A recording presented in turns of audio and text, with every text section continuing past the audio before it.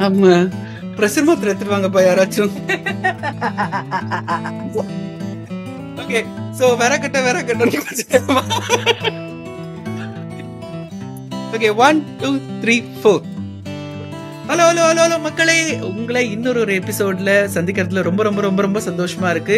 இன்னைக்கு அவுட்ரேஜஸ் மீல என்னங்க பேச போறோம் அப்படின்னு நீங்க யோசிச்சுட்டு இருந்தீங்கன்னா டாபிக் ஆல்ரெடி பாத்துட்டீங்க இதுக்கு மேல நான் இதுக்கு வேற அதை வேற சொல்லிக்கிட்டு நாங்க என்ன பண்ணோம்னா தீபாவளிக்கு எல்லாம் ஃப்ரெண்ட்ஸ் எல்லாம் மீட் பண்ணுவாங்க. அப்படி மீட் பண்ணிட்டு இருக்கும்போது கார பூந்தி சாப்பிட்டுட்டே இருக்கும்போது காரமான டாபிக் ஒன்று கையில கிடைச்சிச்சு. சரி வாங்க எல்லாம் ஒன்னா உட்காந்து இதை போய் பேசி முடிச்சிடலாம் அப்படின்னு சொல்லிட்டு உட்காந்தவங்க கல்யாணம்ன்றது கஷ்டமா நஷ்டமா இஷ்டமா? இந்த டாபிக் பார்த்துட்டு தானே உள்ள வந்தீங்க?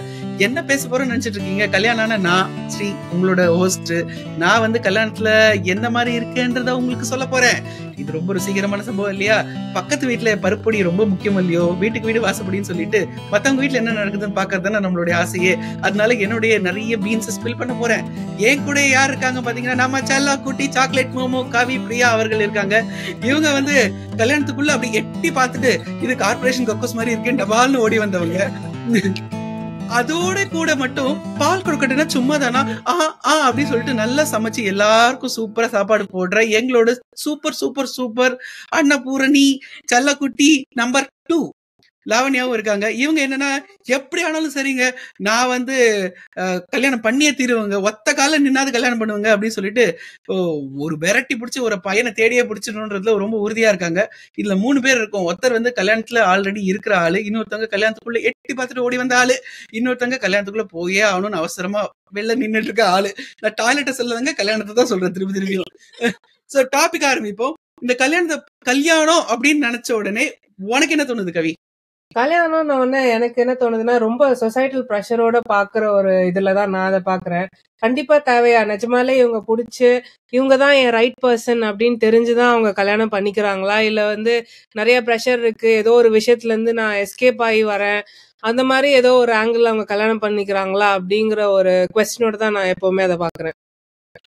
எனக்கு கல்யாணங்கிற விஷயம் வந்து எப்படின்னா ஒரு கம்பேனியன்ஷிப் ஒரு ஃப்ரெண்ட் ஃபார் லைஃப் என்னோட all primary five love languages of relationship love வந்து மீட் ஆகுது அந்த ரிலேஷன்ஷிப்ல அப்படிங்கிறது தான் எனக்கு வந்து இம்பார்ட்டன்டான விஷயம். என்னங்க ஆரம்பிச்ச உடனே ஒரு பெரிய புதிர் போடுறீங்க? அது என்னங்க five forms of love in relationship love languages oh love language language எனக்கு தெரிஞ்சது சென்னை தமிழ் சாதாரண தமிழ் கோயம்புத்தூர் தமிழ் இந்த மாதிரி ஏதோ புதுசா லாங்குவேஜ் எல்லாம் சொல்றாங்க. சரி அவங்க டக்குன்னு லாங்குவேஜ் சொன்ன உடனே தெரியும்னு நினைச்சேன். கூகுள்ல உட்காந்து தேடிட்டு இருக்காங்க. அவங்க தேடிட்டு இருக்கிற இந்த கேப்ல கவி நீங்க சொல்லுங்க. உங்களுக்கு கல்யாணம்ன்றதுல இருந்து வெளில வந்த உடனே கல்யாணமே இனிமே வேணாம் அப்படின்னு ஒரு முடிவு எடுத்தீங்களா? இல்லாட்டி இந்த கல்யாணம் ஒர்க் ஆகல இன்னொரு தடவை ட்ரை பண்ணலாம்னு யோசிச்சீங்களா?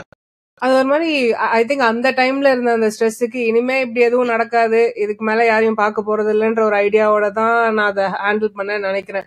ஏன்னா எனக்கு தெரிஞ்சு நான் என் டிவோர்ஸ் சர்டிபிகேட்டை கூட வாங்கல. எதுக்கு இது தேவைப்பட போகுது அப்படின்ட்டு வந்துட்டேன். அதுக்கப்புறம் பிஆருக்கு தேவைப்பட்டு அடி வாங்கினது வேற விஷயம். பட் யா அது கொஞ்சம் ஓப்பன் எண்டடான ஒரு விஷயமா தான் இருந்தது. இப்போ வரைக்குமே மேபி யாரையாவது மீட் பண்ணுவோமோ அப்படிங்கிற ஒரு கொஸ்டினோட தான் எவ்ரிபடி இஸ் மூவிங் ஏன்னா ஐ திங்க் சொசைட்டியே வந்து நம்மள அப்படிதான் ஷேப் பண்ணிக்கிட்டே இருக்கு. உனக்கு ஒரு கம்பானியன் வேணும். இப்ப ஓகே ஒரு பத்து வருஷத்துக்கு அப்புறம் உடம்பு சரியில்லைனா யாரு பார்த்துப்பா? உனக்கு ஏதாவது ஆயிடுச்சுன்னா யார் கூட இருப்பா? அந்த மாதிரி ஒரு கொஸ்டினை வந்து நம்ம மேல திணிச்சு திணிச்சு யாரும் இல்லைன்னா நம்ம தனியா இருக்கவே முடியாதோ? நம்மளால தனியா வாழவே முடியாதோ? அப்படிங்கிற ஒரு குழப்பத்திலேயே நம்மள கூட்டு போயிட்டு சரி பரவாயில்ல லாஸ்ட்ல யாராவது ஒருத்தர் கூட இருந்தே ஆகணும்ன்ற ஒரு ஒரு கட்டாயத்துல வந்து ஒரு மேரேஜ் ஆஃப் கன்வீனியன்ஸ் மாதிரி எதுலயாவது போய் நம்ம செட் ஆயிப்போமா? அப்படிங்கிற மாதிரியான கொஸ்டின்ஸோட தான் ஐ திங்க் நிறைய சிங்கிளா தனியா இருக்கேன் அப்படின்னு சொல்றவங்களே சுத்திட்டு இருக்காங்கன்னு நான் நினைக்கிறேன். இது வந்து ரொம்ப இம்பார்ட்டன்டான டாபிக் நீங்க பேசிருக்கீங்க பேசியிருக்கீங்க. நான் வந்து கேன்னு சொல்லிட்டு வீட்ல சொன்னபோது முதல் முதல்ல எல்லாருமே என்கிட்ட சொன்னது என்னன்னா நீ தனியா தான் வாழ போற தனியா தான் இருக்க போற. உனக்கு வந்து கடைசி காலத்துல உனக்கு கஞ்சி ஊத்து கூட ஆள் இருக்காது. உனக்கு வந்து ஜுரம்னா தலைமையில துணி போடுறது கூட ஆள் இருக்காது இப்படி இப்படிதான் பயமுறுத்தி விட்டாங்க. இதுக்காக நான் கஷ்டப்பட்டு ரிலேஷன்ஷிப் ஒர்க் ஆகாத ரிலேஷன்ஷிப்லலாம் வந்து எனக்கு கல்யாணம் பண்ணி ஆகணும்ன்ற ப்ரெஷர்ல நான் அந்த ரிலேஷன்ஷிப்பை வந்து அவனை நான் லவ் பண்றேனா அவன் என்ன லவ் பண்ணுறானான்றதை புரிஞ்சுக்காம நான் ரிலேஷன்ஷிப்ல இருக்கணும்ன்றதுக்காக நான் ரிலேஷன்ஷிப்பை லவ் பண்றதுனால புஷ் பண்ணி புஷ் பண்ணி நிறைய ரிலேஷன்ஷிப் பண்ணிட்டு இருந்தேன். அஞ்சு லாங்குவேஜ் சொன்னியம்மா எடுத்துட்டியா? எடுத்தாச்சு. So ya there are five love languages in relationship so என்னன்னா வேர்ட்ஸ் ஆஃப் அஃபர்மேஷன் அதாவது நல்ல வார்த்தைகளை சொல்லி சே ஃபார் எக்ஸாம்பிள் நீங்க வந்து ஒரு நல்ல ஒரு ரெட் saree கட்டிட்டு உங்க ஒய்ஃப் ஒரு உங்க கேர்ள் வராங்கன்னா வாவ் நீங்க வந்து ரொம்ப அழகா இருக்கீங்க அப்படின்னு அப்ப சொல்லி பண்ணிட்டே இருக்கணும். நான் லவ் பண்றேன் லவ் பண்றேன் லவ் பண்றேன்றது. அதான் முதல்ல நீ ஓகே ஒரு பொண்ணு வந்து ஏதாவது அஃபர்மிங்கா பண்ணணும். இப்ப நான் உங்களுக்கு சமைச்சு கொடுக்குறேன். ஓகேவா நம்ம ரெண்டு பேருக்குள்ளே பேசிப்போம். புருஷன் ரெண்டாவது பாய் ஃப்ரெண்ட் ரெண்டாவது. இப்ப நான் உங்களுக்கு ஒண்ணு சமைச்சு கொடுக்குறேன்னா நீங்க எவ்வளவு அழகா லவனே அது செம்மையா இருக்கு சூப்பரா இருக்கு. சொல்றீங்களா இல்லையா? சோ ஃப்ரெண்ட்ஸ்குள்ளயுமே வந்து ஏதாவது ஒண்ணு பண்றாங்கன்னா சே தேங்க்யூ அது அஃபர்ம் பண்ணணும். அதுதான் முதல் லவ் லாங்குவேஜ் எக்ஸாக்ட்லி அதுதான் சொல்ல வரேன். So words of affirmation acts of சர்வீஸ்ங்கிறது நான் சொன்ன மாதிரி. அந்த இட்லி சமைச்சு கொடுக்கறது ஒன்னு- ஒண்ணு செய்யறது ஒரு பர்சனுக்கு இதுதான் சர்வீஸ் செய்யறது. சர்வீஸ் குவாலிட்டி டைம் போனை நோண்டிக்கிட்டு ஆர் அவங்க பக்கத்திலே இருந்தாலும் அவங்களோட பிரசன்ஸை வந்து அவங்க ஃபீலே பண்ண மாட்டாங்க. சோ அவங்க கூட டைம் ஸ்பெண்ட் பண்றது சரி டூயிங் ஆக்டிவிட்டிஸ் டுகெதர் ஒரு. வீடு துடைக்கிறதுனாலும் சரி இப்ப நம்ம நேத்து டிஷ் வாஷிங்ல பாத்திரம் எடுத்து வச்சிட்டு இருந்தோம். எடுத்து வச்சிட்டு இருக்கும் போதே நிறைய என்ன சொல்றது? நிறைய விஷயங்களை பத்தி நிறைய விஷயங்களை பத்தி பேசிட்டு இருந்தோம். உடைச்சோம் அழுதோம் கட்டி பிடிச்சோம். You there for each other and that moment so being there for each other quality time instead of scrolling the phone and everything. Physical touch physical டச்னு உடனே வந்து பால் கொழுக்கிட்டனா சும்மா தானான்னு சொல்லி பெட்ல தூக்கி போட்டு பண்றது கிடையாது. ஓ பால் கொடுக்கணும்னா அதான் அர்த்தமா? நான் வேற ஏதாவது நினைச்சிட்டு இருந்தேன். நான் சமையலுக்கான ரெசிபி நினைச்சிட்டு இருந்தேன். வந்து டபுள் டபுள் மீனிங்ல பீப்புள் ஓ டபுள் அதுக்காக. சொல்றது. ஓகே ஒருத்தவங்கள பார்த்த உடனே வந்து உங்களோட அன்பை வெளிப்படுத்துற விஷயம். சரி ஓடி போய் கட்டி பிடிக்கிறதாகட்டும் ஆர் வந்து பப்ளியா இருக்கிறது. கன்னத்தை பிடிச்சி கிள்றதாகட்டும். நிறைய பேத்துக்கு பிடிக்காது. எனக்கு பிடிக்கவே பிடிக்காது. என் கண்ணை சப்பியாக பிடிச்சி எடுத்து ரப்பர் மாதிரி ஆக்கிடுவாங்க. சோ அதனால. அண்ட் ஒருத்தவங்கள பார்த்ததுமே ஒரு கிஸ் பண்றதாகட்டும். ஆனா அவங்களுக்கு பிடிச்சிருக்கணும் நம்ம பண்றது. அதுதான் நீ சொன்னது. கன்சென்ட் நீங்க கேட்கணும் கண்டிப்பா கேட்டு போயிட்டு அன்பை வெளிப்படுத்துறேன்னு கண்ணத்தை பிடிச்சு கிள்ளிடாத தம்பி.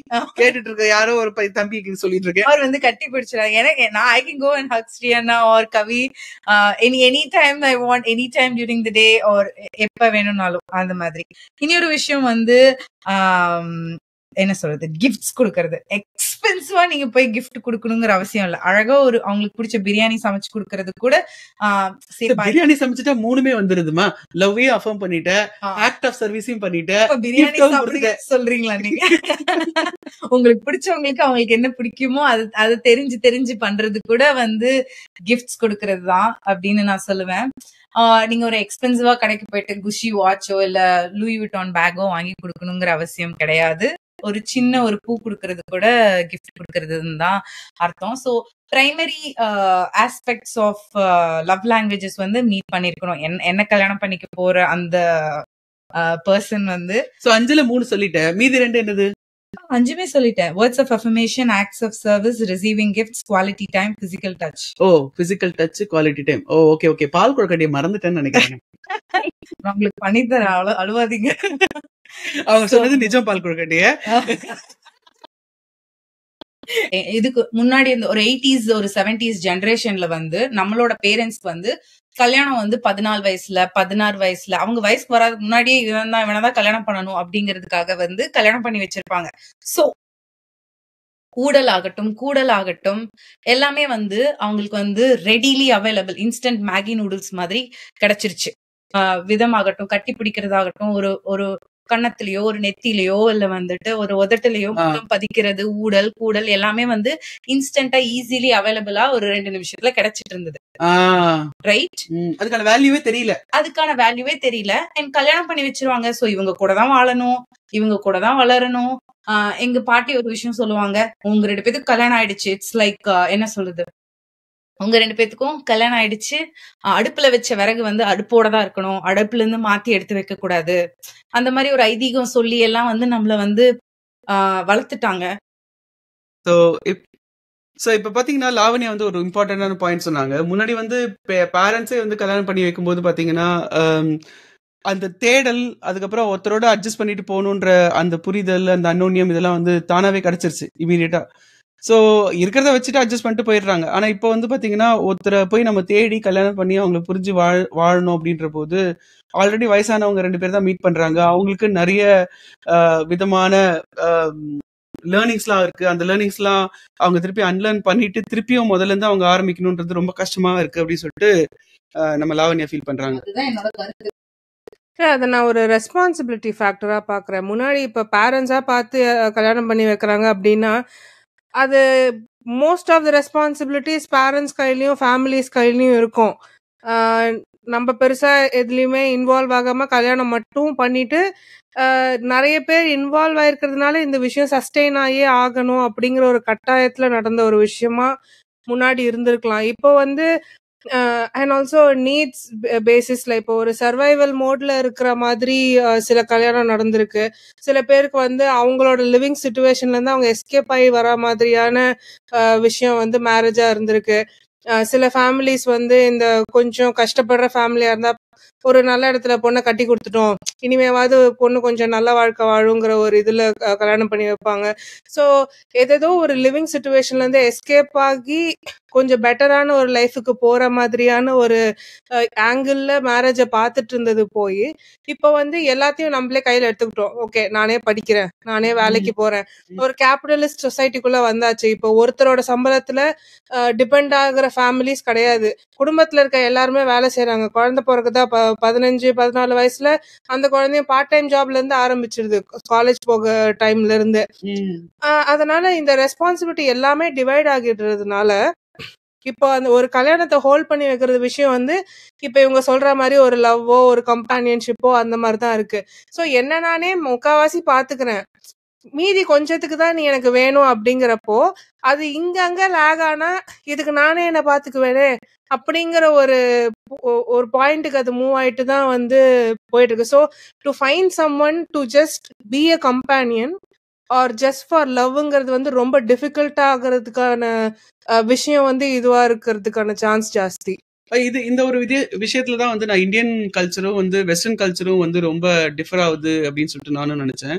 வெஸ்டர்ன்ல பாத்தீங்கன்னா ஒருத்தர் ரெண்டு பேர் வந்து கல்யாணம் பண்ணிக்கிறாங்க அப்படின்னா அவங்க தனிப்பட்ட விருப்பத்துக்காக மட்டும்தான் அந்த கல்யாணமா இருக்கும். அவங்க பேரண்ட்ஸோட கேஸ் சிஸ்டத்தை காப்பாத்துறதுக்காகவோ அவங்களோட சொத்துரிமையை காப்பாத்துறதுக்காகவோ. அவங்களோட சுச்சுவேஷனை எஸ்கேப் ஆகிறதுக்காகவோ இந்த மாதிரி இல்லாட்டி யூஎஸ் விசா கிடைக்கிறதுக்காகவோ அந்த மாதிரி எந்த ஒரு ரீசனுக்காகவும் அவங்க கல்யாணம் பண்ணிக்கிட்டதா சொல்லவே முடியாது மோஸ்ட்லி அவங்க ரெண்டு பேர் வந்து பார்ப்பாங்க டேட் பண்ணுவாங்க லவ் பண்ணுவாங்க. ரொம்ப நாள் ஒண்ணா இருப்பாங்க. சம்டைம்ஸ் லிவிங் டுகெதர்ல இருப்பாங்க. அப்புறம் என்னைக்காவது ஒரு நாள் இந்த பையன் வந்து முட்டி போட்டு கையில ஒரு ரிங்கை தூக்கிக்கிட்டு ப்ரப்போஸ் பண்ண அப்படின்னு சொல்லுவான். அந்த பொண்ணு ஓகேவோ இல்ல நோவோ சொல்லும். அதுக்கப்புறம் ஓகே சொல்லிச்சுன்னா கல்யாணம் பண்ணிட்டு வாழ்வாங்க. சோ அப்பனா என்ன அர்த்தம் அப்படின்னா அவங்க கல்யாணம்ன்ற கமிட்மெண்ட் ரொம்ப சீரியஸா எடுத்துக்கிறாங்கன்னு அர்த்தம்.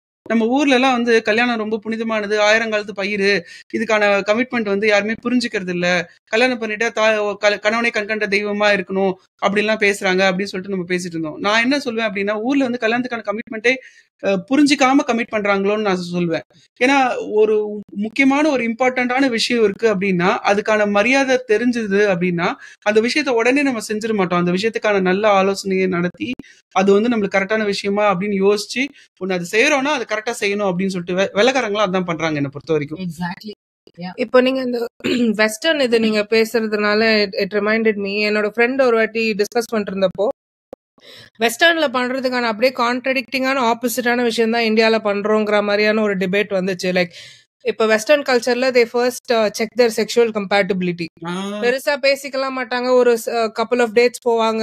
Then they'll get to like once they have sex அதுக்கப்புறமா தான் வந்து அவங்களுக்கு ஓகே இது முதல்ல செட் ஆகுதா? நம்ம செக்ஷுவலி கம்பேட்டபிளான்ற செக்குக்கு அப்புறம் தான் அவங்க பேசவே ஆரம்பிப்பாங்க. அதுக்கப்புறம் அது ஃப்ரெண்ட்ஷிப்பா மாறும்.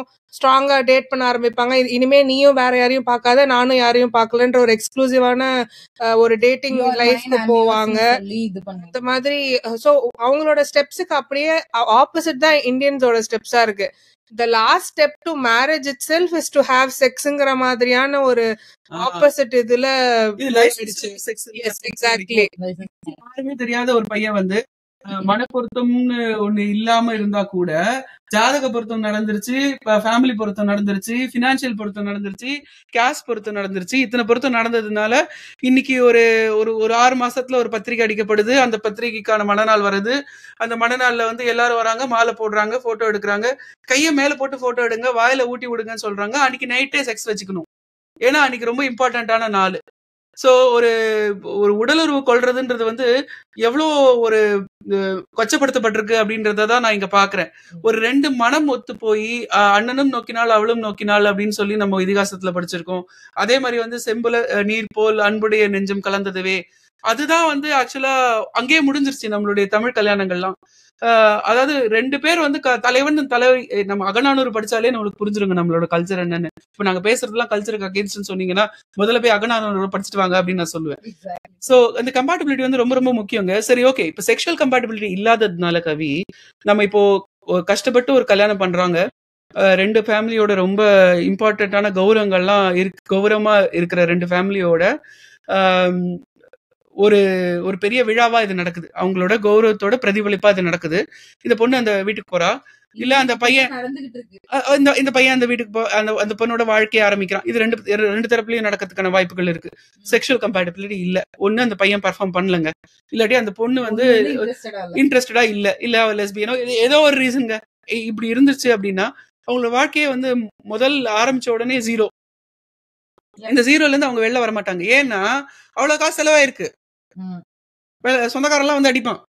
கிடையவே கிடையாது. இப்ப அதெல்லாம் காணாம போயிடுச்சுன்னு நான் சொல்றேன். ஈவன் தோ கல்யாணம் ஆனாலும் ஓகே ஃபார் எக்ஸாம்பிள் கோவிட்ல வந்து எத்தனையோ பேர் கல்யாணம் பண்ணிக்கிட்டாங்க. இப்ப கோவிட்ல எத்தனை நான் ஆன அவ்வளோ கல்யாணங்கள்ல எத்தனை கல்யாணங்கள் வந்து டிவோர்ஸ் ஆயிருக்கு. ஆகல. அது அந்த ஒரு கணக்கெடுப்பு ஏதாவது இருக்கா? கோவிட்க்கு அப்புறம் எவ்வளவு டிவோர்ஸ் ஆயிருக்கு? இல்ல கோவிட் டைம்ல எவ்வளவு டிவோர்ஸ் ஆயிருக்கு? ஏதாவது இந்த காலத்துல வந்து கல்யாணம் பண்ணி வச்சா கூட நாங்க ஏன் ஒன்னா இருக்கணும் அப்படின்னு கேக்குறாங்க. முதல்ல எல்லாம் வந்து கல்யாணம் பண்ணி வச்சா ஐயோ குழந்தை பிறந்துருச்சு. ஐயோ வந்து ஆஹ், ஜாதி. ஐயோ நம்ம வந்து இவ்வளவு சொத்து சேர்த்துட்டோம். சொத்து வந்து வெளியில போயிடக்கூடாது. இதுக்காக எல்லாமே வந்து பிடிச்ச வந்து ஆஹ், ஒரே பர்சனை வந்து ஒரே பர்சனை கல்யாணம் பண்ணி அதே பர்சன் கூட டிராவல் பண்ணி இன்னியும் வந்து நிறைய அக்காக்கள் நிறைய அம்மாக்கள் பெரியமாக்கள் வாழ்ந்து கொண்டுதான் இருக்காங்க. ஆனா இப்ப வந்து if it doesn't fit why should I sit அப்படிங்கிற மாதிரி கேக்குறாங்க. எனக்கு இது பிடிக்கல நான் ஏன் இதை வற்புறுத்தியும் என்ன- எனக்குள்ளேயே நான் அதை திணிச்சுக்கணும்னு நிறைய பேர் அந்த கொஸ்டின் கேக்குறாங்க. எஸ்பெஷலி ஒரு thirty four thirty five so இந்த மாதிரி ஒரு கல்யாணத்துல இருந்து டபால்னு வெளில வந்ததுதான் நம்மளுடைய சூப்பரான தலைவி கவிப்பிரியா ஏன்னா இது ஒரு சாதாரண விஷயமே கிடையாதுங்க. எவ்வளவு ஒரு கரேஜ் இருந்துச்சுன்னா அஹ், எல்லாருக்கும் வந்து இந்த இது வந்து ஒரு அதிர்ப்தியை கொடுக்கும் அப்படின்னு தெரிஞ்சிருந்துச்சுன்னா அதுல இருந்து வெளில வந்துட்டு அதுக்கான லைஃபை லீட் பண்றது வந்து நீங்க திருப்பி ஜீரோல இருந்து ஆரம்பிச்சீங்க கவிப்பிரியா அஹ், இந்த இந்த இந்த மாதிரி ஒரு சுச்சுவேஷன்ல இது வெளில வரும்போது என்ன மாதிரி கவலையெல்லாம் வரும்? இல்ல என்ன மாதிரி கஷ்டத்தெல்லாம் இல்ல என்ன மாதிரி சங்கோச்சத்தெல்லாம் நீங்க எதிர்கொண்டீங்க? இப்ப எனக்கு அந்த கல்யாணம் இதுக்கு மேல ஒர்க் ஆகாது இது முடிஞ்சு போச்சுங்கிற எனக்கு அந்த பாயிண்ட் வந்து எனக்கு நாலு மாசத்துலயே தெரியும். ஆனா அந்த கல்யாணத்துல இருந்து வெளில வந்தப்ப எனக்கு ஒன்றரை வருஷம் இருந்தது. அவ்வளோ டைமும் நான் அந்த நாலு மாசத்துலயே எனக்கு புரிஞ்ச ஒரு விஷயத்த கரெக்டு தானா? நிஜமாவே இது முடிஞ்சிருச்சா? நிஜமாவே இது முடிஞ்சிருச்சா? இது வேலைக்கு ஆகாதான்னு சொல்லிட்டு ஒன்றரை வருஷம் நான் அதுல அவ்வளோ டைம் ஸ்பெண்ட் நான் மட்டும் இல்லை என்னோட பார்ட்னருமே நாங்க ஸ்பெண்ட் பண்ணதுக்கான காரணம் வந்து இந்த மாதிரியான விஷயங்கள் தான். ஓகே நிறைய கடன் இருக்கு. நிறைய காசு ஸ்பெண்ட் பண்ணி நம்ம கல்யாணம் பண்ணிட்டோம். ஃபேமிலிஸ் இருக்கு. இது வரைக்கும் என் குடும்பத்துல எந்த டிவோர்ஸும் நடந்தது கிடையாது. எல்லா எக்ஸ்வைசட் ரீசன்ஸும் இருக்கு அதுல. இப்ப இதுவே ஒரு வெஸ்டர்ன் கல்ச்சர்ல அது அப்படி இருந்திருக்காது. அவங்களுக்கு வந்து வேற எந்த எக்ஸ்டர்னல் ஃபேக்டர்ஸும் தேவைப்படல. ஓகே ஆமா இவ்வளவு செலவு பண்ணிட்டா என்ன பண்ண முடியும்? பிடிக்கல சேர்ந்து வாழ முடியாது. கம்பேட்டபிலிட்டி இல்ல. அது வந்து ரொம்ப பேசிக்கான விஷயம். அந்த கம்பேட்டபிலிட்டி இல்ல இல்லைன்னா அங்கேயே எல்லாமே முடிஞ்சு போச்சு. ஆக்சுவலி வந்து இதுல இன்னொரு ஒரு முக்கியமான கருத்து இருக்கு. பொண்ணு வந்து பினான்சியலா ஸ்டேபிளா இருக்கா இல்லையான்றது வந்து. இந்த இடத்துல தேவைப்படுது. இது ஆண்களுக்கான கொஸ்டினா இல்லாம பெண்களுக்கான கொஸ்டினா இருக்கு. எஸ்பெஷலி இந்திய சமூகத்துல பண்றக்கூடிய எல்லா கல்யாணங்களும். ஒரு பொண்ணு வந்து இப்போ பையனோட ஜாஸ்தி படிச்சிருந்தா கல்யாணம் ஆகாது. ஏன் கல்யாணம் ஆகாது? ஏன்னா அவன் தான் மேல இருக்கணும். இந்த பொண்ணு கீழே இருக்கணும். ஒரு பொண்ணு இந்த பையனோட நிறைய சம்பாரிச்சிட்டு இருந்தா அந்த அந்த இடத்துலயும் ஒரு பெரிய பிரச்சனை வருது. ஏன்னா எனக்கு தெரிஞ்ச சில பேருக்கே வந்து பொம்ப அதாவது இந்த பொண்ணு பொண்டாட்டி வந்து ஹஸ்பண்டோட நிறைய ஏர்ன் பண்ணிட்டு இருந்தா அவங்களுக்கு அவங்களுக்குள்ள வந்து நிறைய இந்த ஈகோ கிளாஷ் எல்லாம் வர ஆரம்பிச்சிருச்சு. ம். சோ இப்போ ஏன் அது வரும் அப்படின்னா இப்ப கல்யாணம்னு ஒரு விஷயம் ஒண்ணு நடக்குது. அந்த பொண்ணு அந்த கட்டத்துக்குள்ளதான் இருக்கணும். அந்த பொண்ணு தைரியமா வெளில எழுந்து போறானா அவளுக்கு என்ன இருக்கு கையில அப்படின்னா பினான்சியல் ஃப்ரீடம் இருக்கு. படிப்பு இருக்கு அவளுக்கான காசு இருக்கு அவளுக்கான சொந்த வீடு இருக்கு அப்படின்னா வந்து அவள அவளை வந்து யாரும் கட்டிப்படவே முடியாது அந்த கல்யாணத்துல. ஏன் நம்ம பெரியம்மாக்களுக்கு சரி நம்ம அம்மாக்களுக்கு சரி நம்ம அக்காக்களுக்கு அதாவது ஒரு செவன்டிஸ் வரைக்கும் கல்யாணம் பண்ணவங்களுக்கு வந்து male is the financial head of the family மாதிரி இருந்தது. எந்த ஒரு விஷயத்துக்காகவும் அந்த பெண் வந்து அந்த ஆணை சார்ந்துதான் இருந்தா சோ அதனால டிவர்சஸ் வந்து கம்மியா நடந்துச்சு.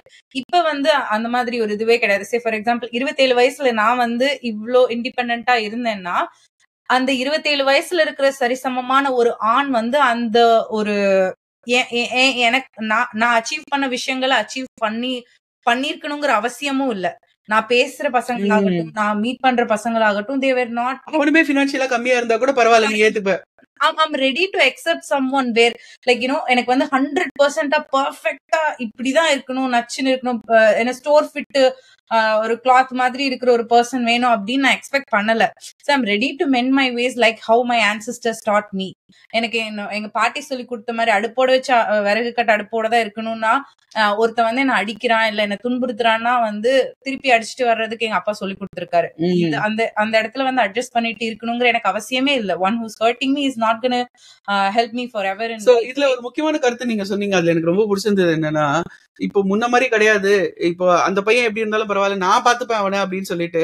ஆனா இதுல இது ரெண்டு கருத்தையும் அதாவது ஒரு பெண்ணு வந்து பினான்சியலி ஃப்ரீடமா இல்லாட்டி அவ தான் கஷ்டப்படுறான்றதும் ஒரு பொண்ணு பினான்சியல் ஃப்ரீடமா இருந்தானா அவளுக்கு முடிவெடுக்கிற திறமை இருந்துச்சு அப்படின்னா அந்த பொண்ணே வந்து டிக்டேட்டர் ஆஃப் த ரிலேஷன்ஷிப்பாவும் ஆகுறா அப்படின்றதையும் எடுத்து பார்த்தோம்னா ஒரு கல்யாணம்னா மேக்ஸிமம் டேமேஜ் பொண்ணுக்கு தான் அப்படின்ற மாதிரி எனக்கு இருக்கு. எக்ஸாக்ட்லி ஆமா எக்ஸாக்டா அப்படிதான் இருந்தது. இப்போ என் ஃபேமிலில இருந்து தான் ஃபர்ஸ்ட் டிவோர்ஸ் அப்படிங்கிற மாதிரியான டாக் வந்தப்போ நான் கேட்ட கேள்வி வந்து இதுவா தான் இருந்துச்சு. சரி எனக்கு முன்னாடி இப்ப எல்லாருமே நல்ல கல்யாணத்துல இருக்காங்களா? எல்லாரும் ஹாப்பியா இருக்காங்களான்னா இல்ல. ஒரு பினான்சியலி டிபெண்டா இருக்கிறதுனால நான் அந்த கல்யாணத்துல இருக்கேன் அப்படிங்கிற அப்படின்ற மாதிரி யாரா சொன்னாங்கன்னா அது அந்த சுச்சுவேஷன் எனக்கு ரொம்ப ஒரு மாதிரி ஒரு மாதிரி சேடான சுச்சுவேஷனா இருக்கு. ஒரு ஒரு நம்மளுக்கு பிடிக்காத ஒரு விஷயத்த நம்ம நம்ம வந்து ஃபோர்ஸ் பண்ணி நம்மள பண்ணிக்கிறோம். பிடிக்காத ஒரு பர்சனோட நம்ம இருக்கோம். இப்போ வந்து நம்ம எல்லாருமே ஒர்க் பண்றோம் கம்பெனிஸ்ல இருக்கோம். பிடிக்காத ஒரு மேனேஜர் பிடிக்காத ஒரு கோவர்க்கர்னா அவங்களோட ஒரு எட்டு மணி நேரம் ஒரு நாள் ஒரு நாள் செலவு பண்றதே நம்மளுக்கு அவ்வளோ கஷ்டமா இருக்கப்ப சுத்தமா பிடிக்காத ஒரு மனுஷங்களோட எப்படி வந்து வாழ்க்கை ஃபுல்லா இந்த ஃபினான்ஷியல் ஃப்ரீடம் இல்லாததுனாலயும் நல்ல படிப்பு இல்லாததுனாலயும் நல்ல குடும்பம் இல்லாததுனாலயும் இது சப்போர்ட் சிஸ்டம் மாதிரி எதுவும் இல்லாததுனாலயும் ஃபோர்ஸ் பண்ணிக்கிட்டு அந்த கல்யாணத்துல நம்ம இருந்திருக்காங்க இத்தனை பேருங்கிறது வந்து ஒரு சேடான விஷயமா தான் நான் பாக்குறேன். அது ஆனா ஏன் அவங்க இருந்தாங்க அப்படின்னா குழந்தைங்களுக்காக இருந்தோம் அப்படின்னு சொல்லுவாங்க. இப்ப நம்மளுடைய அப்பா மக்கள் நிறைய பேர் பாத்தீங்கன்னா இப்பவும் கூட அடிச்சிட்டு இருப்பாங்க. ஆஹ் என்னதான் அப்படியே இப்படியே வாழ்ந்துட்டேன். நானே இருபது வருஷமா வாழ்ந்துட்டேன் முப்பது வருஷமா வாழ்ந்துட்டேன் அப்படின்னு சொல்லிட்டு சாதாரணமா ஏதோ நான் வந்து பக்கத்துல போயிட்டு தியாகம் தான் பண்ணிருக்காங்க அவங்க. யாருக்காக தியாகம் பண்ணேன்னு சொல்றதுதான் பெரிய பிரச்சனையே அங்க. பசங்க மேல அந்த தியாகத்தை திணிச்சிருவாங்க. அவங்களோட. அன்ஹாப்பினஸ் பசங்க மேல திணிச்சிட்டு நீங்களாம் நல்லா இருக்கணும்னு சொல்லிட்டு தான் நாங்களாம் அட்ஜஸ்ட் பண்ணிட்டு வாழ்ந்தோம். இப்ப அந்த பையனும் அந்த பொண்ணும் அதை கேட்கறது தான் அது வந்து அது தூக்கிட்டு அந்த கில்ட் அதை தூக்கிட்டு அலையணும். ஒரு பெரிய பொதி மூட்டை மாதிரி அதை தூக்கிட்டு அலையணும். சோ குழந்தைங்களுக்காக ஒன்னா இருக்கணும்ன்றது வந்து ஒரு நார்மலான கருத்தா பார்க்கப்படுது. ஒருவேளை உங்களுக்குமே குழந்தை இருந்திருந்ததுன்னா அது அஃபெக்ட் பண்ணிருக்குல்ல அந்த டிசிஷனை கண்டிப்பா அஃபெக்ட் பண்ணியிருக்கோம். ஆல்சோ இப்ப நிறைய பேர் இப்ப நம்ம எல்லாருமே are a by product of ஒரு லவ்லெஸ் கல்யாணம் எப்படி இருக்கும்ன்றத பார்த்து தான் நம்ம வளர்ந்துருக்கோம். சோ. கல்யாணம்னா இப்படிதான் இருக்குமோ காதல்னா இவ்வளவுதானோ அப்படிங்கிற ஒரு கொஸ்டினோட தான் நம்ம வளர்றோம். சோ இப்போ ஒரு லவ்லெஸ் மேரேஜ்ல நம்ம மாற்றப்ப கூட இது கரெக்ட் இல்லங்கிறது நம்மளுக்கு புரியறதுக்கே நம்மளுக்கு ஒரு ஜென்மம் ஆகுதுங்கிற மாதிரி இருக்கு. விவேர் ah, நம்ம வந்து இப்படி இந்த மாதிரியான சூழ்நிலைகள்ல இருந்து வளர்ந்து நம்ம பார்த்தது வந்து லேர்ன் பண்ணிக்கிட்ட விஷயத்த வந்து நிறைய விஷயங்களை வந்து நம்ம அன்லேர்ன் பண்ணிட்டு இருக்கோம் இப்போ ஆஸ் ஒரு முப்பது முப்பத்தோரு வயசு ஒரு பொண்ணா நான் பார்த்த ஓ கல்யாணம்னா இப்படிதான் இருக்கணும். நம்ம இப்படிதான் இது பண்ணணும். இந்த மாதிரி இருக்கணும். நம்ம கொடுக்கணும். நம்ம கிஃப்ட் பண்ணணும். இப்படி பாத்துக்கணும் அந்த மாதிரி பண்ணணும். இந்த மாதிரி பண்ணணுங்கிற நிறைய கத்துக்கிட்ட விஷயங்களை நான் அன்லேர்ன் பண்ணிக்கிட்டு தான் இருக்கேன். இப்ப நான் இது பண்றேன்னா ஓகே அந்த பர்சனை வந்து ஓகே திருப்ப பண்றாங்களா இல்லையாங்கிறத நம்ம வெயிட் பண்ணி பார்த்து அது ரெசிப்ரோகேட் பண்றாங்களா இல்லையா? அது பண்ணலைன்னா நான் நான் நான் நிறைய விஷயங்களை கத்துக்கிட்டேன். I I learn myself to walk away from the place where I wasn't respected so அதாவது பிடிக்காத இடத்துல இருந்து அது கல்யாணம் ஆகாட்டி வெறும் டேட்டிங்கான ரிலேஷன்ஷிப் இருந்தா கூட அந்த இடத்துல இருந்து ஓடி வந்துருவேன் அப்படின்னு சொல்லிட்டு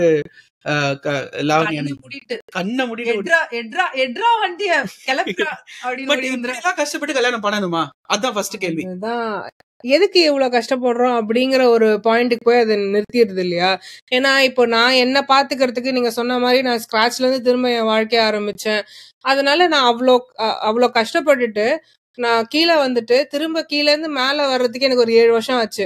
என்னோட ஃப்ரெண்ட்ஸ் என் கூட படிச்சுட்டு நல்ல வேலையில இருக்கவங்களுக்கு ஒரு ஸ்டெப் கீழே தான் நான் இருக்கேன் இப்போ வரைக்கும். ஏன்னா எனக்கு கொஞ்சம் எனக்கு ஆல்மோஸ்ட் த்ரீ ஃபோர் இயர்ஸ் இந்த கல்யாணத்தினாலயும் அந்த பிரச்சனைகள்னாலயும் அதுல இருந்து போயிட்டு ஒரு பெரிய பிரேக் ஆயிடுச்சு. ஸோ ஸ்கிராச்ல இருந்து ஆரம்பிச்சிட்டேன் நான். ஆரம்பிச்சு இப்ப திரும்ப நான் மேல வந்த உடனே இப்போ நெக்ஸ்ட் அப்படின்னு ஏதாவது யோசிச்சா இப்ப வர்றது வர்றதும் செட் ஆகலைன்னா இப்ப எனக்கு வந்து ஸ்கிராச்ல இருந்து எப்படி ஆரம்பிக்கிறதுங்கிறது தெரியும். ஒரு பர்சன் இல்லாம தனியா வாழறதையும் நான் பார்த்துட்டேன்.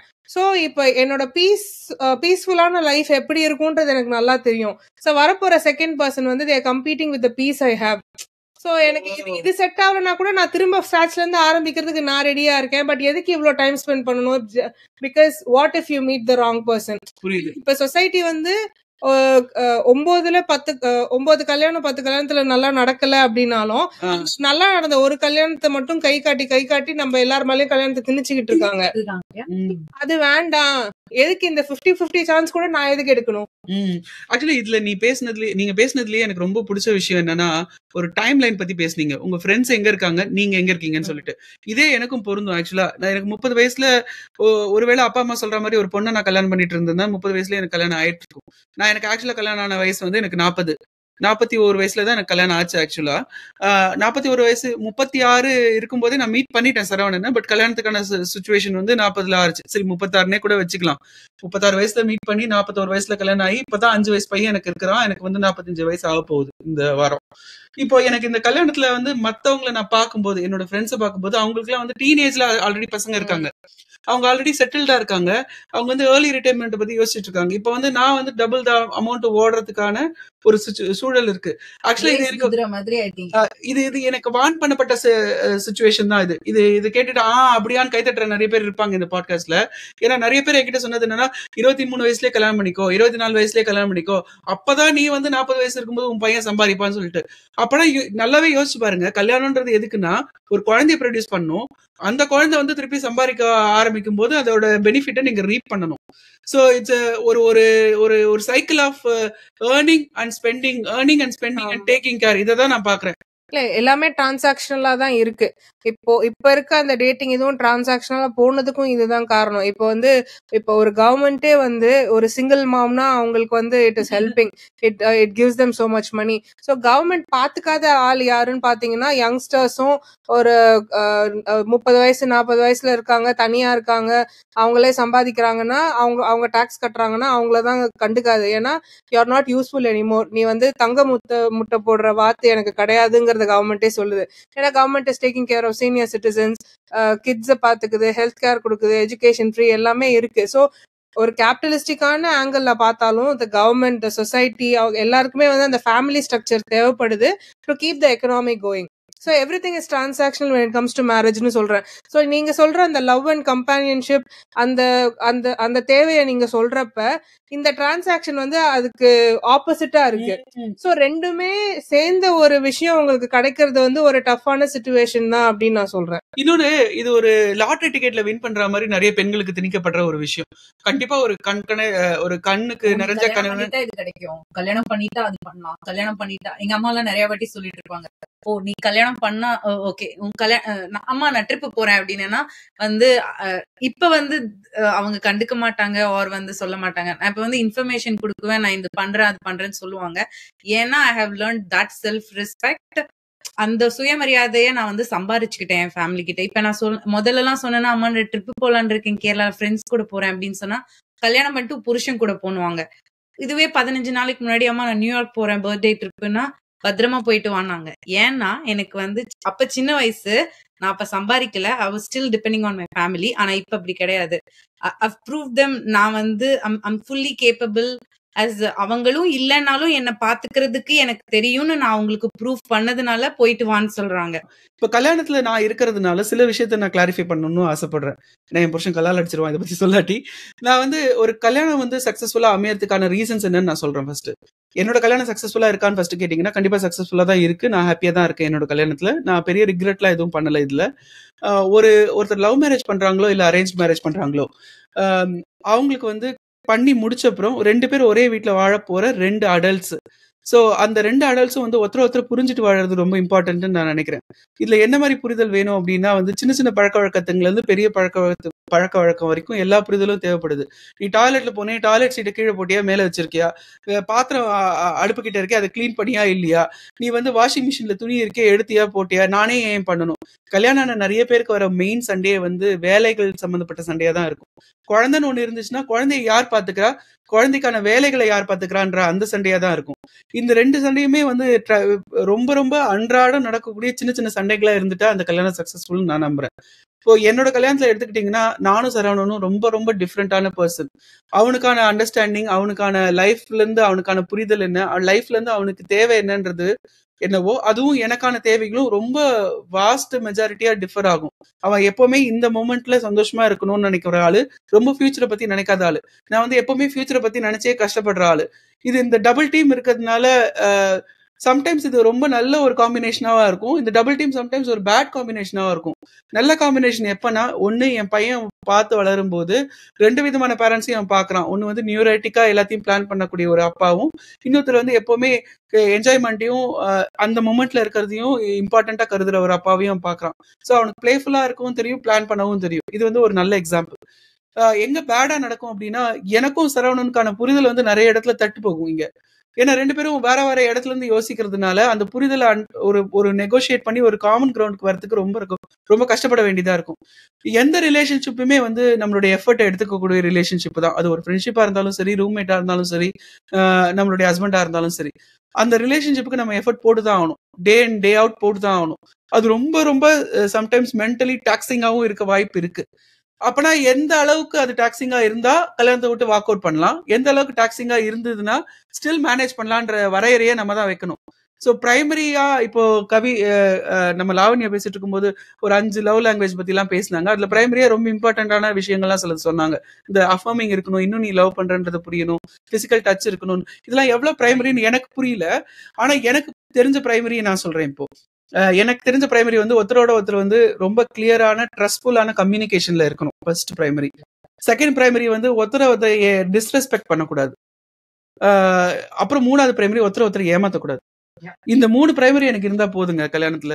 ஆர் எனி ரிலேஷன்ஷிப்ல ஃபார் தட் மேட்டர் நீங்க என்ன நினைக்கிறீங்க இல்ல அது ரொம்ப வாலட்டைலான விஷயமா நான் பாக்குறேன். இப்ப வந்து நீங்க லாயல்ட்டி வந்து ரொம்ப இம்பார்ட்டன்ட் இன் மேரேஜ் அப்படின்னு சொல்லிட்டு நிறைய பேர் பேசுவாங்க. ஏன்னா காமனான விஷயம் வந்து not cheating on the partner ஒரு எக்ஸ்க்ளூசிவான ரிலேஷன்ஷிப் அப்படிங்கிற ஒரு ஆங்கிள் நிறைய பேர் அதை பார்ப்பாங்க.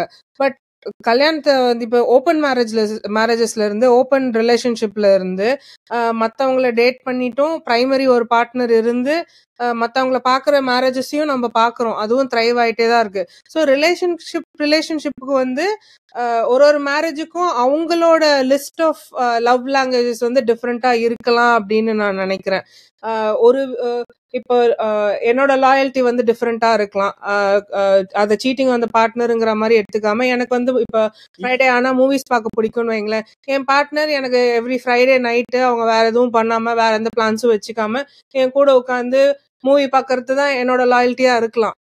ஸோ அது வந்து மேரேஜஸ்க்கு மேரேஜஸ் டிஃபர் ஆகிறதுக்கு பெட்டரா இருக்கும் அப்படின்ட்டும் எனக்கு தோணுது. ஆஹ் கண்டிப்பா டிஃபர் ஆகும். இதுல வந்து முக்கியமான பாயிண்ட் ஒண்ணு நீங்க தட்டிட்டு போன பாயிண்ட் வந்து என்னன்னா ஆஹ் இந்த செக்ஷுவல் லாயல்ட்டி பத்தி நம்ம பேசணும். ஒருத்தனுக்கு ஒருத்தின்றது வந்து ரொம்ப ஆழமா திணிக்கப்படுற ஒரு தமிழ் கலாச்சார கருத்து அப்படின்னு சொல்லுவாங்க. ஆக்சுவலா அது தமிழ் கலாச்சாரத்துல இல்லைன்னு நான் சொல்லுவேன். ஏன்னா எல்லா எல்லா இதிகாசத்துல எடுத்தீங்கன்னா எல்லா புராணங்களை எடுத்தீங்கன்னா ஆயிரம் மனைவி ஒரு மனைவி விட்டுருங்க. ஆயிரம் மனைவி கொண்ட கணவர்மார்கள்லாம் இருக்காங்க. அஞ்சு கணவர் கொண்ட ஒரு பொண்ணும் இருக்கா. சோ நிறைய காமனான விஷயம் இதுல என்னன்னு பாத்தீங்கன்னா ஒருத்தருக்கு மல்டிபிள் பார்ட்னர்ஸ் இதுதான் காமனா விஷயமா நம்ம எல்லா கடவுள்கிட்டயும் பாக்குறோம். அதுதான் கோயில்ல போய் கும்பிடுறோம். அதெல்லாம் உங்களுக்கு நம்மளுக்கு நார்மலா தான் தெரியுது.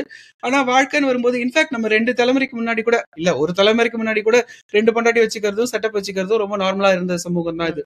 அது வந்து லீ அது வந்து அப்ப என்ன சொல்றாங்கன்னா அதுக்கு ஒரு பேர் வச்சுட்டோம். இப்போ வந்து பேர் வைக்காம ஒரு அஃபயரா முடிஞ்சதுனால அது வந்து செக்ஷுவலான தப்பான கனோட்டேஷனா இருக்கு. இப்போ ஒருத்தர் ரெண்டு பொண்டாட்டி வச்சிருக்காரு அப்படின்னா வந்து அதுல அதுல இருக்கிற நல்ல விஷயம் ஒண்ணு என்னன்னா ரெண்டு பேருக்கும் ரெண்டு பேரும் ரெண்டு பொண்டாட்டி இருக்காங்கன்னு தெரியும். சோ ஒரு பார்ட்னருக்கு வந்து ஒருத்தர் வந்து பண்றது இன்னொருத்தருக்கு தெரியாம போகும்போது தான் அது வந்து கள்ள தொடர்பா மாறுதுன்னு நான் நினைக்கிறேன். அதர்வைஸ் அது நல்ல தொடர்பு தான். கம்யூனிகேஷன் இல்லாததுனாலதான் அது நடக்குது. ஆமா அதுதான் நம்ம பிரைமரி இதுவா நான் செட் பண்ணிட்டேனே ஆல்ரெடி சோ இப்போ ஒரு கப்பல் வந்து ஓப்பன் ரிலேஷன்ஷிப்ல இருந்தா கூட அவங்க ரெண்டு பேருக்கும் அது ஓப்பன் ரிலேஷன்ஷிப்ல தான் இருக்காங்கன்ற தெளிவு இருந்தா போதும்னு நான் நினைக்கிறேன். அப்போ ஒரு கப்பல் வந்து ஒரு ரிலேஷன்ஷிப்ல இருக்கணும்னா அப்ப மெயின் இன்கிரீடியன்ட் என்னவா இருக்கும் அப்படின்னு நீங்க நினைக்கிறீங்க? ஆஹ் எனக்கு தெரிஞ்ச அது அந்த ட்ரஸ்ட் தான் மெயினா நினைக்கிறேன். இப்போ வந்து நான் பிரைமரி பார்ட்னர் மை இப்போ என்னோட ஹஸ்பண்ட் வந்து he is dating outside அப்படின்னாலும் என்ன ஆனாலும் I am the primary பார்ட்னருங்கிற hundred percent trust and confidence எனக்கு இருக்கணும். ஸோ ஐ திங்க் எந்த எந்த சுச்சுவேஷன்ல போனாலும் இப்போ நான் இப்போ செக்ஷுவலி ஓப்பன் மேரேஜஸ் பத்தி நான் இப்போ பேசிட்டு இருக்கேன்னா இது தவிர வேற டைப்ஸ் ஆஃப் லாயல்ட்டி வச்சிருக்கிற கப்புள்ஸுக்கும் பாத்தீங்கன்னா ட்ரஸ்ட் அண்ட் கம்யூனிகேஷன் தான் பேசிக்கா வரும் தான் நானும் நினைக்கிறேன். ஐ திங்க் ரொம்ப மெச்சூர்டான ரிலேஷன்ஷிப்பா இருக்கும்னு நினைக்கிறேன் நான் இது. கண்டிப்பா. இப்போ இப்போ மேரேஜஸ்னு வந்துச்சுன்னா they will quote like marry only when you find the right பர்சனுங்கிற quotation நம்ம நிறைய கேள்விப்படுறோம். அது உண்மைதான். யாருமே இப்ப கல்யாணம் பண்ணிக்காதவங்க கூட அக்செப்ட் பண்ணிக்கிற ஒரு விஷயம் வந்து marry when you feel like this is the right person அப்படிங்கிறது தான் but will they be the right person forever அப்படிங்கிற கொஸ்டின்ல வந்து தான் இது நிற்கும் மேரிங் த ரைட் பர்சன்றது வந்து ஆஹ், அது என்ன சொல்றது? அது வந்து ஒருத்தருக்கு நடக்கக்கூடிய லாட்ரி சீட்டு மாதிரி நிறைய பேர் பாக்குறாங்க. ஆக்சுவலா அது லாட்ரி சீட்டு கிடையாது. வேணும்னா you go and get it if it doesn't come to you you don't worry about it நான் மேரேஜ் வந்து ஒரு ஆப்ஷனலான விஷயமா தான் நான் என்னோட லைஃப்ல நான் மத்தவங்களுக்கு சஜஸ்ட் பண்ணணும்னு நான் நினைக்கிறேன். ஏன்னா இப்போ நிறைய பேர் சொல்றது என்னன்னா நான் தனியா இருக்கேன். எனக்கு ஜுரம் விழுந்தா கூட யாருமே இல்லை என்ன பாத்துக்கிறதுக்கு. எனக்கு தலைவலின்னு வந்தா கூட யாருமே இல்லை பாத்துக்கிறதுக்கு அப்படின்னு சொல்லுவாங்க. இதுல ரெண்டு விதமா நான் பாக்குறேன். பிசிக்கலா ஒருத்தர் நம்ம கூட எப்பவுமே இருக்கணுமா? இந்த தேவை அவசியமா? ஃபர்ஸ்ட் அதுக்கான ஆன்சர் முதல்ல நீங்க சொல்லுங்க கவி. அஹ் அவசியம் இல்ல அப்படிங்கிற ஆங்கிள் பேசினாலும் இப்போ நிறைய ஃபேக்டர்ஸ் இன்க்ளூட் ஆகுது. இப்போ எனக்கு முப்பத்தி நாலு வயசு எனக்கு யாரும் பக்கத்துல தேவையில்லை நான் தைரியமா சொல்றேன்னா இதையே நான் இருபது வருஷத்துக்கு அப்புறம் சொல்லுவேனா அப்படின்னு கேட்டா அது ஒரு டவுட்ஃபுல்லான விஷயம் தான் மேபி வென் ஐம் ஃபிஃப்டி யாரோ கூட இருந்தா பெட்டரா இருக்குமோ அப்படிங்கிற கொஸ்டின் இருக்கு. But at the same time ஐம்பது வயசுல எனக்கு கூட ஒரு ஆள் இருக்கணுங்கிறதுக்காக நான் இப்பவே விழுந்தடிச்சுட்டு எதுலயோ போய் விழுந்துடணுமா அப்படிங்கிற கொஸ்டினும் எனக்கு இருக்கு. இந்த தலைவலிக்கு மருந்து கொடுக்கறவர் வந்து நிஜமாவே வந்து நம்ம லைஃப்ல சந்தோஷமா இருக்க ஹெல்ப் பண்ணுவாரா அப்படின்றதும் ஒரு. கட்டம் இருக்கு. தலைவலிக்கு மருந்து கொடுக்கணும் ஒருத்தர் கூட்டிட்டு வந்துட்டு அவர் தலைவலியே உண்டாக்கிட்டாருன்னா என்ன பண்றது? உங்களுக்கு வந்து ஹண்ட்ரட் பர்சன்ட் ரைட் பர்சன் வந்து கிடைக்க மாட்டாங்க. யூ ஷுட் உங்களுக்கு இது வேணும்னு உங்களுக்கு தேவைப்படுது. ஸோ கவிக்கு அது தேவையில்லை அதனால அவங்க அதுக்கு வந்து ஒர்க் பண்ணல. இப்போ எனக்கு வந்து கம்பேனியன்ஷிப் தேவை ஒரு பர்சன் ஒரு கம்பேனியன் தேவைங்கிறதுனால இன்னும் எனக்கு பல செருப்படிகள் வாங்கணும்னு எனக்கு தலை தலையில எழுதி இருக்கிறதுனால நான் வந்து அந்த விஷயத்துக்கு ஒர்க் பண்றதுனால நான் willing to lose or sacrifice some amount of எனக்கு ஹண்ட்ரட் பர்சன்ட் இருக்கணுங்கிறது இல்ல. ஒரு இடத்துல வந்து ஒரு ரிலேஷன்ஷிப்ல நான் வந்து ஒரு ஹண்ட்ரட் பர்சன்ட் கொடுத்துருப்பேன் ஆர் வந்து எயிட்டி பர்சன்ட் கொடுத்துருக்க ரெடியா இருப்பேன் ஆர் ஃபிஃப்டி பர்சன்ட் கொடுத்துருப்பேன். அதே அளவு அடுத்த இருக்கிற அந்த பர்சனும் வந்து ரெசிப்ரோகேட் பண்ணணும்னு நான் காம்ப்ரமைசஸ் தான் லைஃப்னு சொல்லிட்டு நீங்க உறுதியா நம்புறீங்க. அந்த காம்ப்ரமைஸ் நானும் ஒத்துக்கிறேன் இல்லைன்னு சொல்ல அந்த காம்ப்ரமைஸ் இல்லாம எந்த ரிலேஷன்ஷிப்புமே வந்து அணுக முடியாதுன்னு நான் சொல்றேன். இப்போ இன்னொரு விஷயத்தை பத்தி நான் அட்ரஸ் பண்ணணும்னு நினைக்கிறேன். இந்த கல்யாணம்னா புனிதமான ஒரு விஷயமா கருதினாங்க பாத்தீங்களா? எஸ்பெஷலி தமிழ் சமூகத்துல வந்து இந்த தாலியை வந்து கண்ணில் தொட்டு கும்பிடுறது அதுக்கான மஞ்சள் குங்குமம் அதுக்கான ஒரு ஒரு ஒரு தெய்வீக தன்மை. ஆக்சுவலா கல்யாணம் பண்ணிக்க போற பையன் பையன் வந்து ரொம்ப மோசமான பையன் தான் அன்னைக்கு முன்னாடி நாள் நைட் கூட பசங்களோட உட்காந்து சரக்கு அடிச்சுட்டு ஆபாச படத்தையோ இல்ல ஆபாசமான விஷயங்களையோ பேசிட்டு இருந்த ஒரு பையன் தான் அன்னைக்கு காலையில வந்து உட்கார்ந்து அவன் தொட்டு தாலி கட்டின உடனே அந்த தாலி புனிதமான ஒரு விஷயமா மாற்றப்படுது. இந்த புனிதத்தை பத்தி என்ன நினைக்கிறீங்க நீங்க? இல்ல அதுவே ஒரு ஒப்ரெசிவான ஒரு விஷயம் தான் உன்னை ஒப்ரெஸ் பண்ணணுங்கிறதுக்காக நான் என்னெல்லாம் பண்ணுவேனோ அதெல்லாம் பண்ணுவேன். இப்ப நம்ம இதுக்கு முன் கொஞ்ச நேரத்துக்கு முன்னாடி நம்ம இந்த ரெண்டு கல்யாணம் எல்லாம் பேசிட்டு இருந்தோம்ல அதுவே ஒரு ஆப்ரேஷன் ரிலேட்டட் தானே? நான் ஃபினான்ஷியலி ஸ்டேபிள் என்னால ரெண்டு பொண்ணுங்களை பாத்துக்க முடியும்ன்ற ஒரு தைரியத்துல ஒரு ஆன் பண்ற விஷயம் தானே அது. இதுவே அதே காலத்துல காலகட்டத்துல நம்ம ஒரு ஒரு பொண்ணுக்கு வந்து ரெண்டு புருஷன் இருந்து நம்ம பெருசா பாக்கலையே. ஏன்னா ஃபினான்ஷியலி அவங்க ஸ்டேபிள் கிடையாது. இப்ப அந்த ஃபினான்ஷியல் ஸ்டெபிலிட்டி அவங்க கிட்ட இருந்து வாங்கி அதை டிவைட் பண்ணிட்டதுனால டிபெண்டன்சி மீதி விஷயங்கள்ல டிபெண்டன்சியை கம்மி பண்ணிட்டு வெறும் கம்பானியன்ஷிப் இருந்தா மட்டும்தாங்கிறது டேபிளுக்கு வருது. கம்பானியன்ஷிப்புக்காகவா நான் அவங்க கூட இவ்வளவு கஷ்டப்பட்டு அட்ஜஸ்ட் பண்ணிக்கிட்டு இருக்கணுங்கிறது என்னோட வாதமா இருக்கு. இப்ப இப்ப என்ன நடக்கும்னா நம்ம இப்ப வந்து முதல்ல கல்யாணம் கட்டாயம் பண்ணி பண்ணி வச்சாங்க. இப்ப வந்து கல்யாணம் பண்ணணுமான்னு நம்ம கொஸ்டின் கேட்டிருக்கோம். இப்ப எனக்கு குழந்தை பிறந்தோ இல்ல வந்து என்னோட நீஸ் அவங்களுக்கெல்லாம் அவங்க வந்து கல்யாணம் ஒரு இருபது வயசு இருபத்தஞ்சு வருஷம் கழிச்சு எல்லாரும் வந்து அடைச்சி எதுக்கு கல்யாணம் பண்ணிட்டு போயிட்டு லிவிங் டுகெதர்ல இருப்போம்? ஒரு group of friends bunch of friends வந்து ஒரே வீட்ல இருந்துட்டு they'll be like in open relationship அப்படிதான் இருக்கும்னு எனக்கு தோணுது. இல்ல தட் இஸ் இன்எவிட்டபிள் இப்போ வந்து இந்த ஜெனரேஷனுக்கு அப்புறமா நெக்ஸ்ட் ஜெனரேஷன் வந்து மேரேஜ வந்து they will look at it as a choice அப்படிங்கிறது தான் it is the society is moving towards it தான். அதுக்கு டினைலே கிடையாது. ஆக்சுவலி இப்போ ஒரு குழந்தை பெத்து வளர்க்கணுன்றதுக்கு ஒரு ஒரு சொசைட்டில வந்து ஒரு ஸ்ட்ரக்சர் தேவைப்படுது அப்படின்னு சொல்லி. எல்லாரும் சொல்றாங்க. இப்ப நானும் சரவணனுமே வந்து அடாப்ட் பண்ண ப- பண்ண போற அந்த காலகட்டத்திலயும். இப்ப அடாப்ட் பண்ண அப்புறமும் கூட மெயினா எங்களுக்கு வர கமெண்ட் வந்து அந்த பையனுக்கு அப்பாவும் அம்மா இத பத்தி நம்ம முன்னாடியே பேசியிருக்கோம். அப்பா அம்மா வேண்டாமான்னு சொல்லிட்டு. நாங்க ரெண்டு பேர் இருக்கோங்க. நாங்க நல்லா பாத்துப்போங்க. அந்த குழந்தைய அப்படின்னு சொல்லும்போது ஒரு குழந்தை வளர்ப்புக்கு வந்து ஒரு ஒரு ஸ்ட்ராங்கான ஸ்திரமான ஒரு லவ்விங் வீடு வேணும்ன்றதையாவது அட்லீஸ்ட் எல்லாரும் அக்செப்ட் பண்ணிக்கக்கூடிய இம்பார்ட்டன்ஸ்ல இருக்கும். இப்போ லிவிங் டுகெதரா ஃப்ரெண்ட்ஸா இருக்கான் அப்படின்னு சொல்லிட்டு நம்ம இருந்தோம் அப்படின்னா பின்னாடி குழந்தை வளர்ப்பெல்லாம் எப்படி எப்படி மாறும்னு நீங்க நினைக்கிறீங்க? நான் இதுக்காக ஒரு விஷயம் சொல்ல விரும்புறேன். கனடால உங்களுக்கு முப்பத்தி ரெண்டு வயசு ஆச்சுன்னா you can you are eligible to be a single parent இப்ப எனக்கு வந்து குழந்தைங்கன்னா ரொம்ப இஷ்டம்.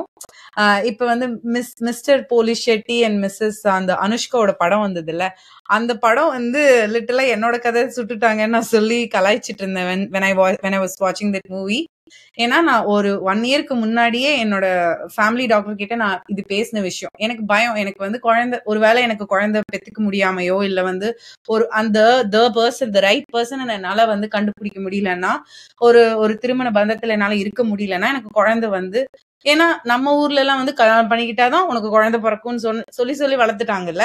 சோ இதனால இது ஒரு ஓப்பன் கான்வர்சேஷனாவே எனக்கும் என் டாக்டருக்கும் நடந்துச்சு. அப்ப அவங்க சொன்ன விஷயம் இதுதான்.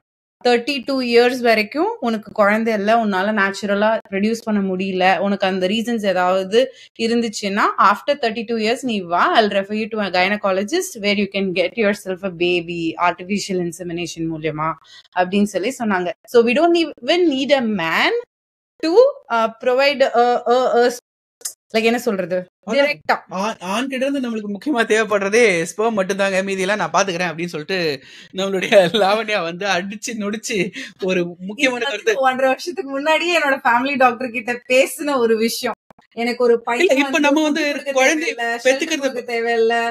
ஆர் வந்து பக்கத்துல இருந்து பாத்துக்க கூட தேவையில்ல. அது. ஃபேமிலி நான் இப்ப பிரெக்னெண்டா இருக்கேன். ஆர் வந்து எனக்கு ஒரு வளகாப்பு பண்றதுனாலும் my if I make the decision, my family will still support me. My friends are here as a family in Canada to support me. If if that doesn't happen, that's a long time. I don't know who, who I'm gonna get married to. I don't know even on the right person and on the 100% this is my guy ன்னு சொல்லி kneel down பண்ணி ring கொடுத்து பூ கொடுத்து கல்யாணம் பண்ணாலும் I don't even know how long that marriage is gonna stay ஏன்னா காலம் அப்படி இருக்கு காலம் அப்படி இருக்கு. ஆக்சுவலா இதுல ரொம்ப பியூட்டிஃபுல்லான சில மொமெண்ட் வந்துச்சு. நம்மளுடைய லாவண்யா குட்டி அவங்க என்ன சொல்றாங்க அப்படின்னா ஒருவேளை நான் அந்த மாதிரி ஒரு டிசிஷன் எடுத்த ஃப்ரெண்ட்ஸ் ஆகிய நாங்கள் நானும். கவி பிரியாவும் அவங்கள நல்லா பார்த்தோமா சொல்லியிருக்காங்க. இதை பத்தி நாங்க தீவிரமா டிஸ்கஸ் பண்ண வேண்டியிருக்கு.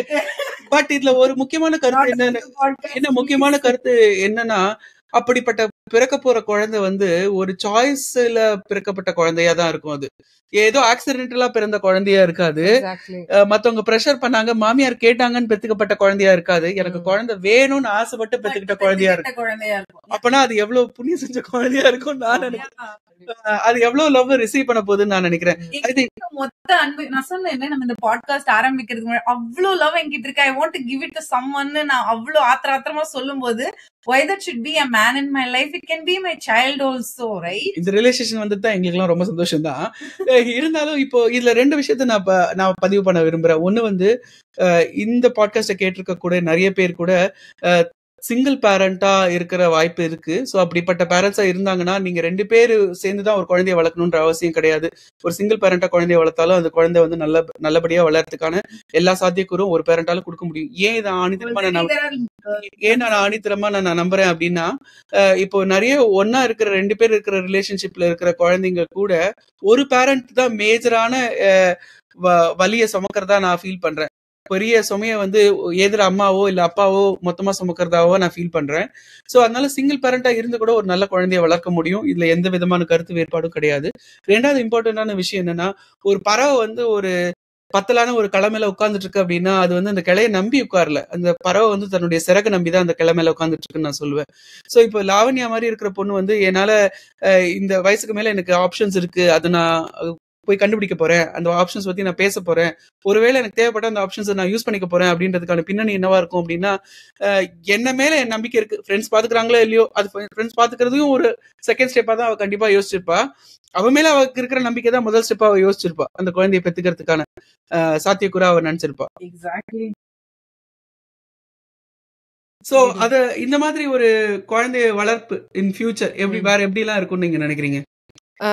அதுவுமே நிறைய விஷயம் கேபிட்டலிஸ்டிக்காவும் நான் யோசிக்க வேண்டியதா இருக்கு. இப்போ எனக்குமே இப்போ அடாப்ட் பண்ணலாம்னு வச்சுக்கோங்களேன். நான் இப்போ ஒரு சிங்கிள் மாமா இருக்கலாம். பட் எவ்வளோ தூரம் நான் ரெடியா இருக்கேன்? ஆர் எவ்வளோ தூரம் என்னால் அந்த குழந்தைக்கு ஹெல்ப் பண்ண முடியும்? அப்படிங்கிற விஷயமும் இருக்கு. பட் இதுக்கு முன்னாடி இந்த ஜென்ரேஷன் மாதிரி ஆக்சிடென்டல் கிட்ஸ் இல்ல தேவையில்ல அப்படின்னு இருந்தப்போ செகண்ட் கிட் தேவையில்லாம பிளானே பண்ணல பட் இட் ஹேப்பன் அப்படிங்கிற மாதிரி எதுவும் இல்லாம I think everything will be planned இப்போ இப்போ இருக்கிற ஜென்ரேஷன்லயே நிறைய பேர் வந்து ரொம்ப பிளான் பண்ணி எல்லாத்தையும் செட்டில் பண்ணிட்டு கிட்டுக்காக எல்லாத்தையும் பண்ணணுங்கிற ஒரு ஜென்டல் பேரண்டிங் எல்லாமே நம்ம பாக்குறோம். முன்னாடி நம்ம நிறைய இதை பத்தி பேசியிருக்கோம். ஸோ இதுக்கு மே இதுக்கு மேல வளர்ற கண்டிப்பா கிட்ஸ் வேணும் அப்படின்னு இருக்கவங்க வந்து they'll give their hundred percent regardless இப்போ முன்னாடி இந்த ஜென்ரேஷன் வந்து ஓகே பெத்துட்டோமேன்னு வளர்த்து தொலைக்கணும்.